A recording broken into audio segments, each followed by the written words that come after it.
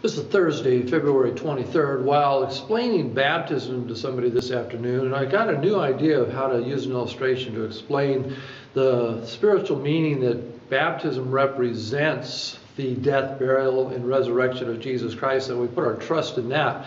In that it's not baptism that saves us, but it's that faith in Christ's work on the cross. Well, my uh, illustration was that baptism is like a picture now, if we take a picture, say, of this tree, and then we hold that picture up, well, we're not holding up the tree, we're holding up a picture of it.